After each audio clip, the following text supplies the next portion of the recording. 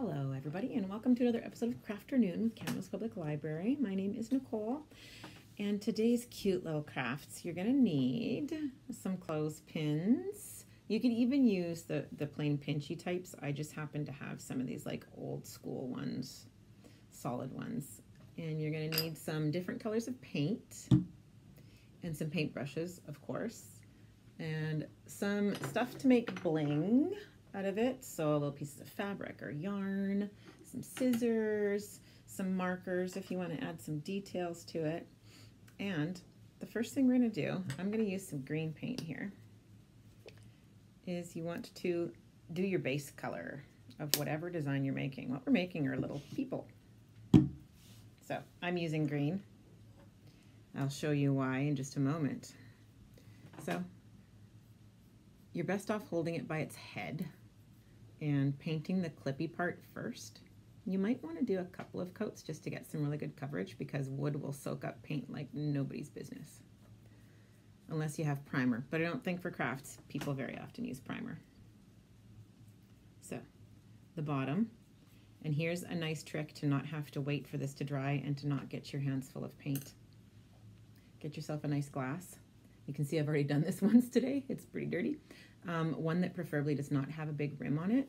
And then you can just stick it on the edge of your glass while you paint the rest of it without getting your hands all goopy and gross. And actually wrecking your paint job too, because you'll leave fingerprints in your paint if you try to hold on to wet paint. Paint the entire thing green. And then if let it dry for about, I don't know, five or 10 minutes if you want to do two coats but we're not going to do that because me being prepared and all, I have already painted two of them and let them dry. So the first one, I am going to use a little bit of yellow yarn. Get some scissors.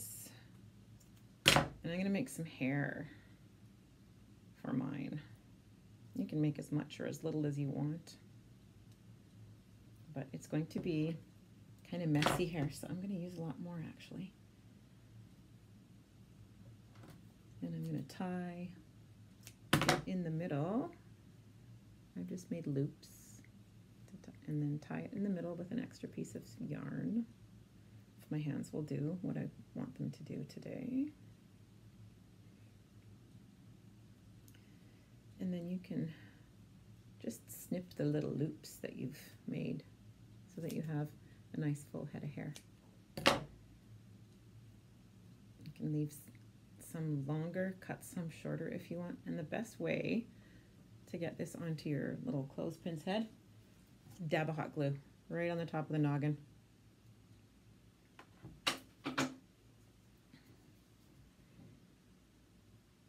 And you can arrange it so that it, his face is this way. So you, you want to put his face on the same side that is solid on the base of it.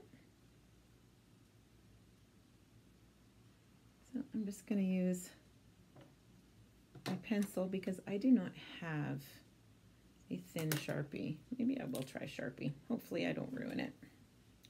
I'll show you what I've done once I've done drawing, once I'm done drawing the face. Two little eyes. And a little smile and a tongue. And what we have made is, it's a Wocket for your pocket. Know the Dr. Seuss story? There's a Wocket in my pocket. So you can put this in your pocket. I don't have a pocket, I'll just put it on my sweater here. But it will hang in your pocket and you can have a Wocket in your pocket. Cutest thing ever, hey? So the other one, if you're not a Seussian, I thought that I would do something a little bit different. And I'm going to use some purple paint. Actually, no, I'm to draw things first and then I will do paint. So for, for your Wocket, you wanted the solid part to be where his face was. For this one, you want it to look like he has legs. So we're to put the face right here. So we are going to get our marker and he needs a nice head of hair.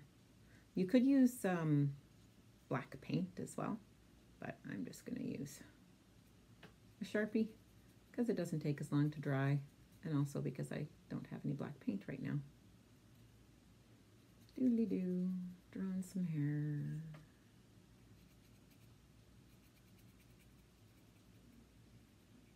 That's good enough. Now, the character that we are making really needs some abs, so we're to draw some abs and a nice six pack going down the front. Any ideas of who we're making?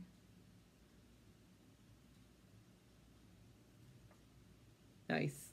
and a kind of a cranky mouth. And some angry eyebrows. And some little eyes too. Who is green and is cranky and is like ripped and has purple pants? Yes, we need purple pants. That's right, you guys. We're making the Hulk.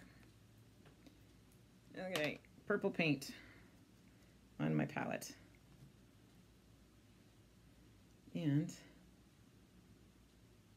a paintbrush, which I need to clean because it has green paint on it. Dry it off a bit. Purple paint, and we'll make some pants. And if you remember correctly, um, the Hulk's pants are kind of jaggedy at the bottom. That's the bonus of using markers that you can turn him upside down to paint the bottom of his pants. His pants are kind of jaggedy and short at the bottom, so I'm not going to be too particular about how this goes. Because, of course, they rip every time he changes into the Hulk, right? Hold him by his head.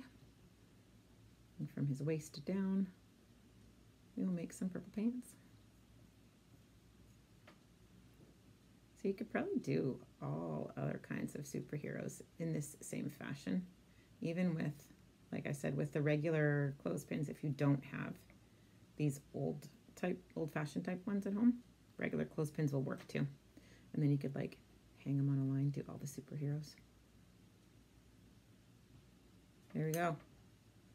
Hulk smash. So we have a Hulk and we have a Wocket for your pocket. Thanks for joining me today, guys. Have a good day. Bye.